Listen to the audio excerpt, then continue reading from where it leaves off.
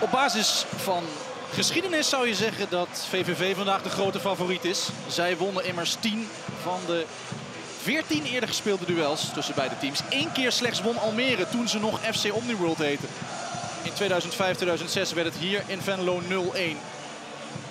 En 13 keer is het dus niet gelukt voor Almere. En dan zien we dat Zima, de Tsjech, de nieuwe doelman, gekomen van Genoa weer in de goal staat. En we dus een paar wijzigingen zien. Met Danny Post die terug is van de handblessure van Rooyen op de bank. Sorga in de spits. Gaat hij de doelpunten maken. Da Graça staat weer centraal in de verdediging. Maar heeft nu geen aanvoerdersband meer om omdat Post erbij is. En bij Almere dus een kans voor Daniel Bredijk. Zijn eerste speelminuten van dit seizoen. Verder zijn het dezelfde tien namen als in de vorige wedstrijd van Almere. Die dus last minute met 1-1 gelijk werd gespeeld tegen Jong Utrecht. Die ene nederlaag dus. 15 jaar geleden zo'n beetje.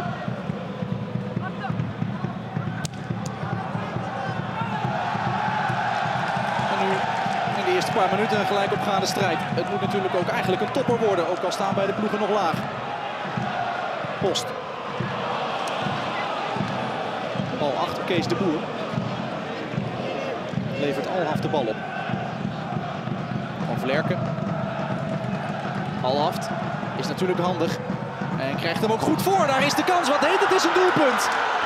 En er wordt meteen om het geluid van het publiek gevraagd. Maar dat komt er natuurlijk niet. Want de uitploeg scoort. Al vroeg in de wedstrijd is het 1-0 door Lens Duivenstein.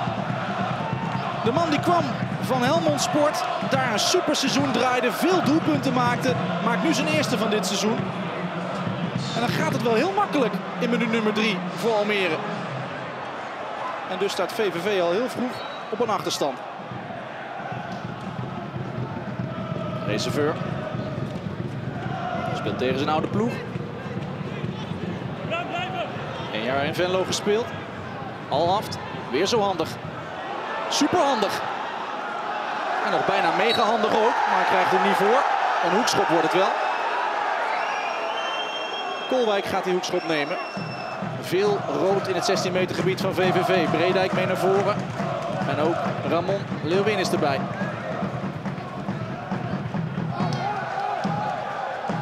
Kogelin werkt weg. Reserveur. Daar staat Pauwels toch aardig vrij. En er staat nog iemand vrij, maar op de doellijn wordt de bal uiteindelijk gepakt door Sima. En was Duivenstein ook nog dichtbij zijn tweede van deze middag. Zo staat het achterin bij VVV in het eerste kwartier niet goed. Lekwa. Pauwels terugleggen op Bujaglaven. Daar komt de kans op 0-2. Bujaglaven. Sima doet dat goed. Maar moet misschien nog een keer aan de bak. Alhaft. Dat scheelt niet veel. En zo is dit al kans nummer 3 voor Almere. Hij wacht nog steeds op zijn eerste overwinning, Jos Luukai. In zijn eerste acht als trainer van VVV. Eredivisie meegerekend, lukte het niet. Jansen.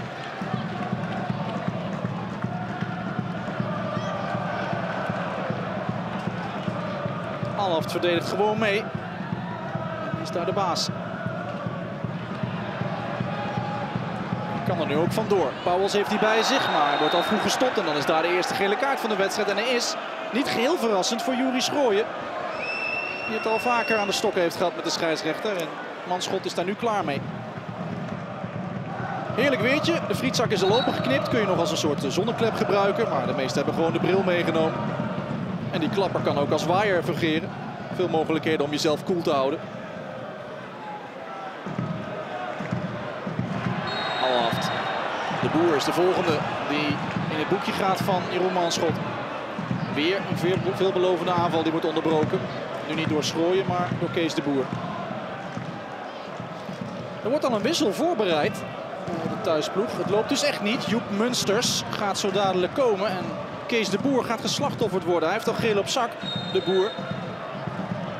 En ontevreden met de start. De Boer maakt ook geen uitgebluste indruk. Ziet er niet geblesseerd uit. Met Munsters komt er een centrale verdediger bij. En gaat zijn debuut ook nog maken. 19 jaar.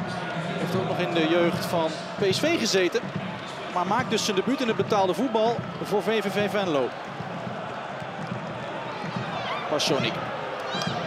Het zijn een aantal tientallen meters die hij daar aflegt, de Duitser. Roemer. Maar je moet ergens beginnen. Een hoekschop is zo'n begin voor VVV.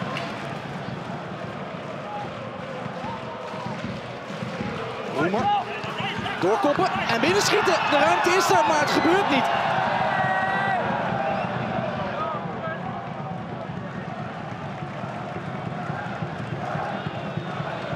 Twee minuten nu dus nog te gaan in deze eerste helft.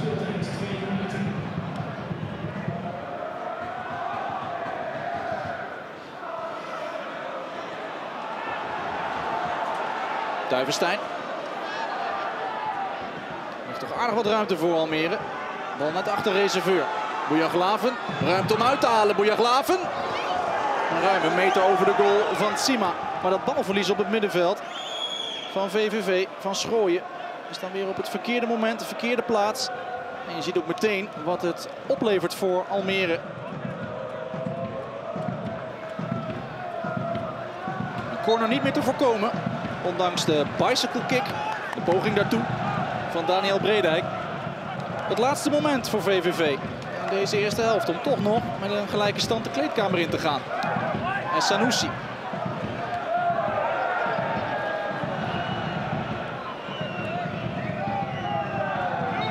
Nog één hoekschop.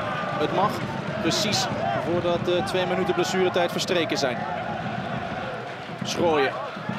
Dagrasa komt wel hoog. En het schot kan ook nog altijd komen van Essanusi.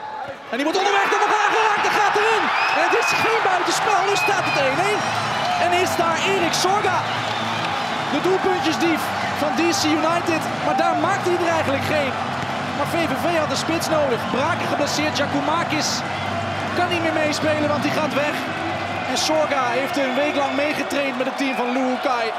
Heeft nog geen kans gehad, maar doet dan uh, in de absolute slotseconde van deze eerste helft iets heel moois.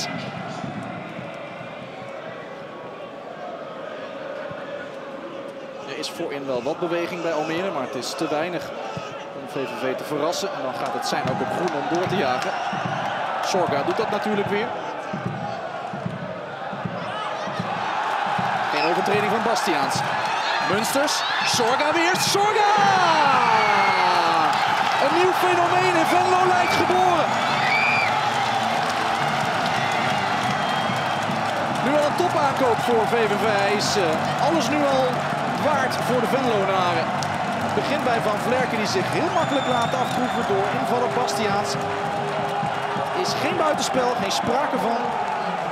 En 1 op 1 met Wout is dit gewoon klinisch afmaken wat Erik Sorga doet.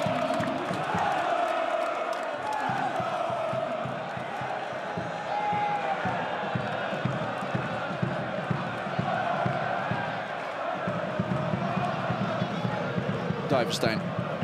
Tijd genoeg natuurlijk nog voor Almere om hier iets aan te doen. Deze bal blijft binnen. Misschien is dat al meteen de kans. Nee, wat een redding zegt van Sima. En dan heeft hij helemaal klem vast. Die. Wat een kans voor Pauwels. Om te gelijk maken.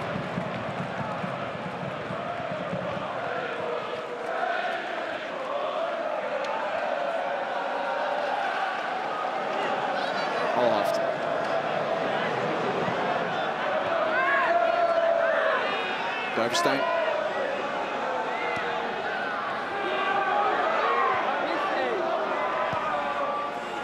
Van Vlerken komt er overheen. Alhaft doet het zelf. En dan is dit natuurlijk ook knap gedaan. Sima weer. En die wordt heel even geraakt. En krijgt daarvoor ook nog de vrije trap. Attent gereageerd door die boomlange Tsjech. Lens Duivenstein. Afgetroefd door Post.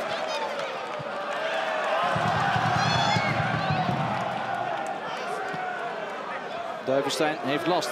Wil dat de bal buiten gespeeld wordt, maar VVV gaat gewoon door met Bastiaans. Sorga, Smans. Ook al zo'n jongen uit de eigen jeugdopleiding.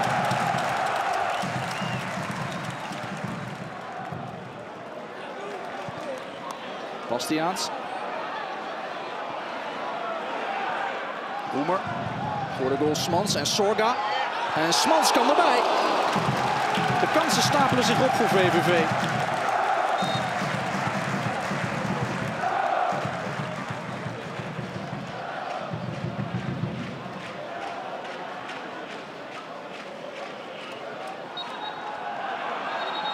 Van Hoeven krijgt de vrije trap mee.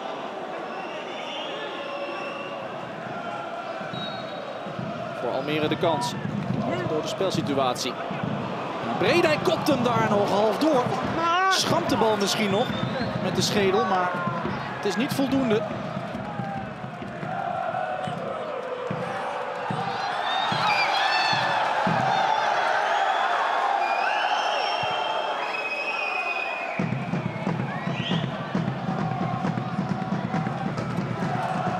Bastiaans, Sorga.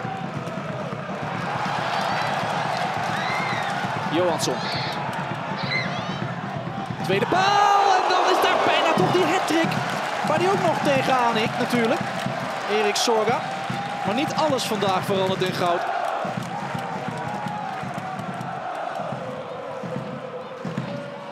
Bredijk. Harweiler.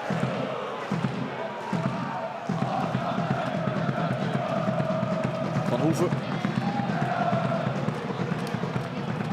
Goede voorzet van Van Hoeven en daar is Bredijk opnieuw. Wat een enorme kans voor Almere in de 89ste minuut. Van Vlerken gaat gooien. Bredijk moet dan doorkoppen en dan moet die bal ergens nog voor de voeten van iemand vallen. Leeuwin. En weg is weg. En de fluit gaat in de mond bij Manschot. En hoor dat geluid. Het zijn er bijna 4000, maar ze maken geluid voor een volle koel. VVV wint voor het eerst sinds 27 januari weer eens een wedstrijd in competitieverband. Almere City wordt over de knie gelegd na een achterstand. Weer geeft Almere een voorsprong weg.